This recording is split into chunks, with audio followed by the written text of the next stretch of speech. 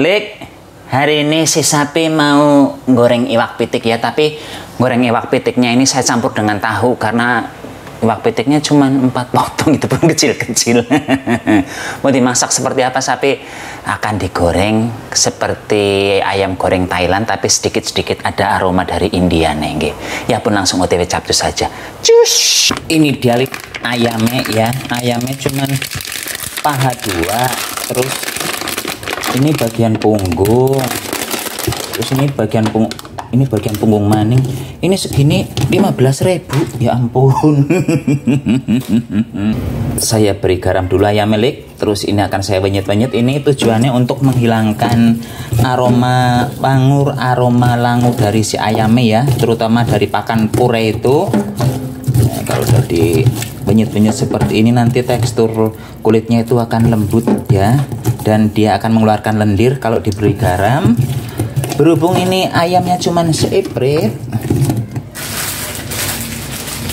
nanti di resep ini saya akan menambahkan tahu. Nah ini ayam sama tahu segini tadi harganya 20 ribu nggak lebih nggak kurang ya. Pas 20 ribu. Nah udahlah. Udah mengeluarkan lendir ini ayamnya langsung siram lagi. Ini dicuci hingga bersih ya. Udah kalau udah dicuci bersih sekarang kita langsung nguprek-nguprek bahan dan bumbu nih jus. Ke dalam ayam lik. Sekarang saya akan memarut bawang merah dan bawang putih. Kalau lilike mau mengulek ya silahkan. Mau memblender ya silahkan. Ini saya pakai bawang merahnya 4 butir ya terus bawang putihnya 3 siung itu bawang putihnya nggak kebanyakan ya sapi. Orang ayamnya cuma 4 biji. Ya kalau untuk bumbu-bumbuan disesuaikan dengan selera saja ya Lik ya. Kalau Liliknya nggak suka bawang putih ya kurangi saja bawang putihnya. Kalau suka bawang merah yang banyak ya silahkan tambah lagi ya.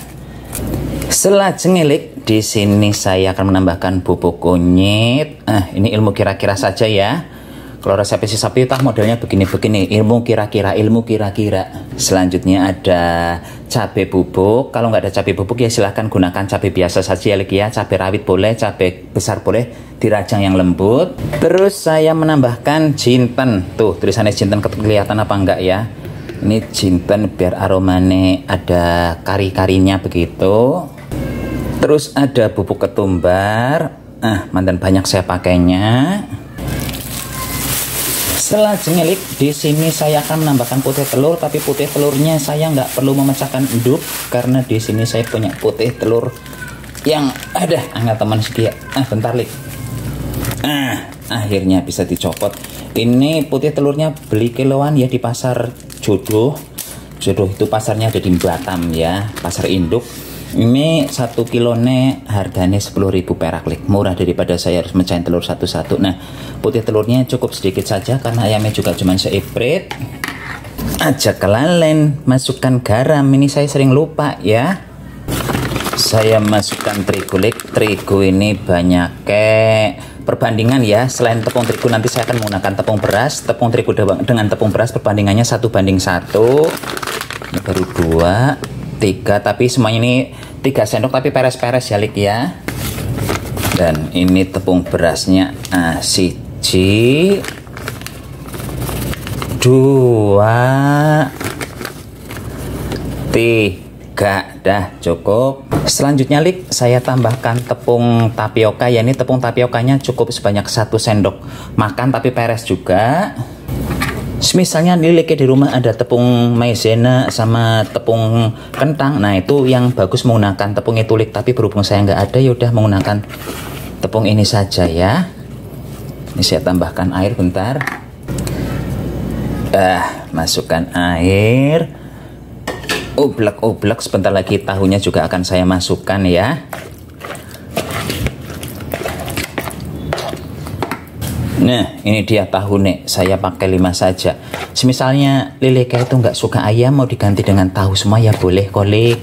Disesuaikan dengan selera saja kolik. Saya nggak memaksa harus ayam ya. Dah dioblek-oblek dulu. Ini setelah tercampur rata akan saya biarkan dulu ya paling nggak setengah jam supaya bumbunya meresap terutama ke ayamnya. Cus, ditunggu lik. Minyaknya kayak ini udah panas lik. Ah, udahlah, udah panas ya ini langsung saja ayamnya digoreng ini setelah 30 detikan langsung dibalik ayam milik biar bagian bawahnya nggak cepet gosong karena di sini saya akan menggunakan cabai bubuk ya. Nanti kalau menggunakan cabai bubuk itu ayamnya biasanya cepet hitam. Gunakan api yang kecil. Jadi saya mandan sebelik menggoreng menggunakan panci ini. Cantik sih bentuknya tapi aslinya mandan-mandan lengket ini. Uh. tuh hmm. Ah gimana? Lilike tergoda nggak dengan warna ayam ini? Kelihatan cantik ya. Ini aromanya wangi banget Lik. Dan ini belum matang sabar dulu. Ya ini baru berapa detik dimangsak cantik sekali ini jan uh, aroma nih jangan ditanya harum sekali. Nggak lama lagi lik ayamnya akan saya angkat ya karena udah mau matang terus sebelum diangkat ayamnya sekarang saya memasukkan daun salam koja ya daun kari. Ini saya goreng juga. Kenapa saya menggorengnya di bagian akhir ya supaya daunnya nggak gosong begitu. Dan kalau kita menambahkan daun ini aromanya akan lebih maknyus maning lek tapi kalau lilike di rumah nggak ada daun beginian ya nggak usah pakai. Kalau mau daun beginian tuh di tetanggane Biung Dira ada tuh di kampung di Kecamatan Menarja Kabupaten Cilacap ya Desa Bantar ada itu yang punya. Tanggane Biung Tira tapi bukan bukan Biung Tira yang punya ya.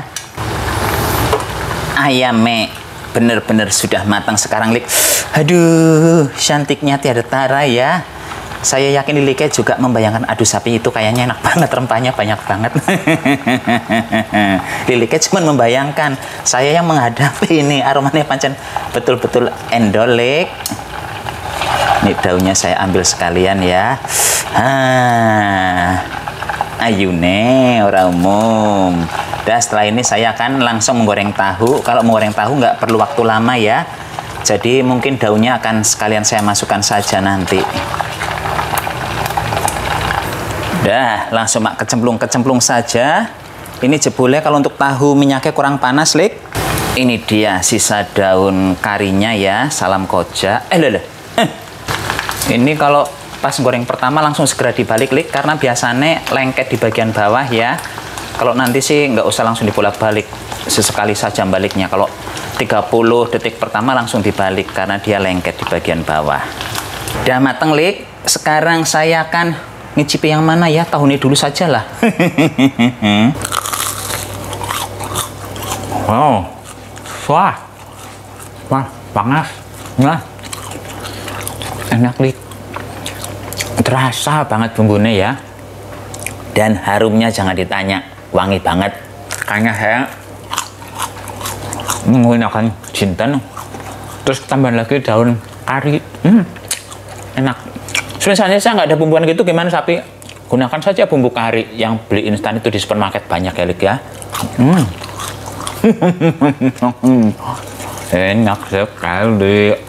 Saya akan ngisipi ayam milik tapi ini ayamnya Yuh, tuh masih kemebul ya. Kelihatan gak sih kebulnya masih kembul banget. Ini tepungnya nggak akan saya icipi lah udah pasti enak. Karena kan tepungnya sama dengan si tahunnya ya. Saya akan icipin dagingnya ya sel panas. Hmm. Hmm. Wow. Ini rasa asinnya rasa pedesnya ya merasuk hingga ke dalam lik. Ini bawang putihnya juga kerasa Wah. Hmm. Tuh, ya. Hmm. Nah, tulik dagingnya sudah berwarna kecoklatan, nggak lagi berwarna putih pucat, artinya bumbunya memang betul-betul merasap sampai ke dalam. Oh, lagi kalau liliknya mau memarinasinya sampai 12 jam, 7 jam, 8 jam ya, dipersiapkan dari sore, besok pagi baru digoreng tapi ditaruh di kulkas. Itu bakal lebih news maning ininya ya. Uh, bumbunya meresap ke bagian dalamnya. Hmm. monggo silahkan dicoba. Ini kalau untuk ide jualan bagus banget deh karena ayamnya sungguh menggoda. Kalau yang percikan-percikanan itu kan cantik secara penampilan tapi menurut saya mandan pucat ya walaupun warnanya kuning-kuning begitu tapi kalau warna yang ini hmm, sungguh menggairahkan kelihatan kayak medok banget bumbunya. Aku anak yang bingung jalan, pamit dulu ya. Sampai jumpa di video berikutnya. Ah, udah kubrek. Cus. Hmm? Love you sayang. Cintaku. Cus.